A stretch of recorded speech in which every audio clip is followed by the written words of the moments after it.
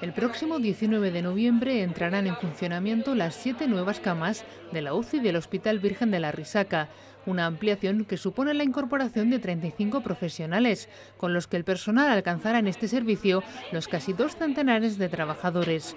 Una primera fase de mejora de esta unidad que permitirá dar un mejor servicio al ciudadano.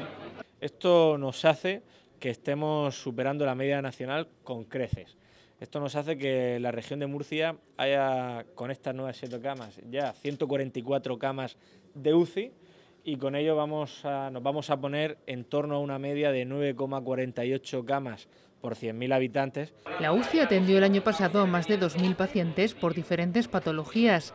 Se trata de una unidad polivalente médico-quirúrgica. Esta es una UCI polivalente médico-quirúrgica en la que se atienden trasplantes posoperados de trasplante hepático, cardíaco, asistencia ventricular, como terapia de destino o como terapia puente a la recuperación, pacientes neuroquirúrgicos procedentes del código ictus, pacientes politraumatizados graves.